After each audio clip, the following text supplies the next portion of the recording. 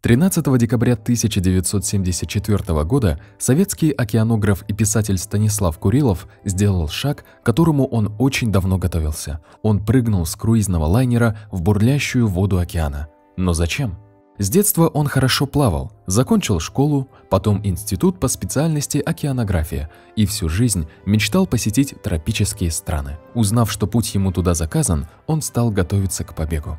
Станислав отлично плавал и нырял, в том числе и без акваланга. Занимался по самоизданным книжкам йогой, мог несколько дней не есть без ущерба для активности. В 1974 году в декабре, все продумав и подготовившись, он приобрел билет на круиз из Владивостока из зимы в лето на теплоходе «Советский Союз». За две недели теплоход из декабрьского Владивостока доплывал до жаркого экватора, описывал там полукруг и возвращался обратно, не заходя ни в один из портов. Несмотря на подготовку, все оказалось не так просто. Теплоход был то ли случайно, то ли специально совсем не предназначен для прыжка с него. Вот как описывает это сам Курилов. Меньше всего лайнер был приспособлен для побега, как хорошая, добротная тюрьма. Линия борта шла от палубы не по прямой вниз, как у всех судов, а закруглялась бочонком. Если кто и вывалится за борт, то упадет не в воду, а на округлость борта. Все иллюминаторы поворачивались на диаметральной оси, разделявшей круглое отверстие на две части. Я надеялся незаметно отправиться за борт через один из них, но это полукруглое отверстие годилось разве что для годовалого ребенка. Чуть ниже ватерлинии, по обе стороны судна от носа и до кормы,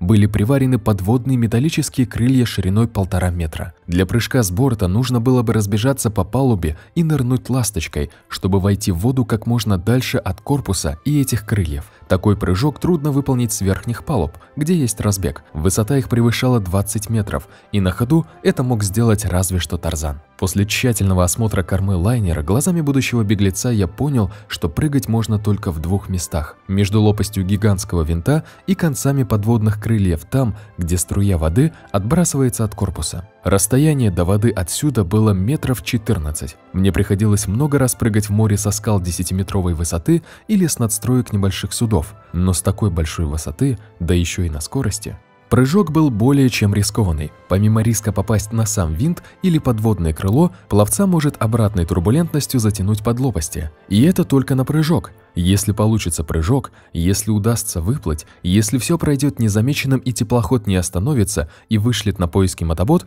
вот даже все эти «если» сработают, то пловцу предстоит плыть двое суток до ближайшей земли. Полет над водой показался мне бесконечным. Пока летел, я пересек некий психологический барьер и оказался по другую его сторону совсем другим человеком. Всплыв на поверхность, я повернул голову и замер от страха. Возле меня на расстоянии вытянутой руки громадный корпус лайнера и его гигантский вращающийся винт. Я почти физически чувствовал движение его лопастей. Какая-то неумолимая сила подтягивает меня ближе и ближе. Я делаю отчаянные усилия, пытаясь отплыть в сторону и увязаю в плотной массе стоящей воды, намертво сцепленной с винтом. Внезапно что-то швыряет меня в сторону, и я стремительно лечу в открывшуюся пропасть.